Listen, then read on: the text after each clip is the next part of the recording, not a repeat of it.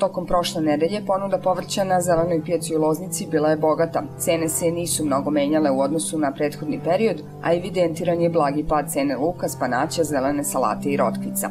Na Vranjskoj zelenoj pijaci ponuda i tražnja povrća bile su na nivou od prethodne sedmice. Došlo je do pada cene krastavca salatara, mladog krompira i mladog i starog kupusa, dok su mladi beli luk, beli luk, paradajz, braziluk i spanać poskupeli. Na pijačnim tezgama u Čačku zabeležena je dobra ponuda povrća. Prodaja krompira odvijala se po ceni od 40 do 50 dinara po kilogramu. Za mladi kupus bilo je potrebno izdvojiti 130, a za spanać od 70 do 80 dinara po kilogramu, dok je paradajz koštao od 160 do 180 dinara po kilogramu.